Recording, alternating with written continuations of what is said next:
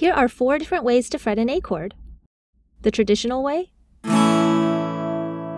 comfortable way, the my fingers don't fit way, the I only play bar chords way.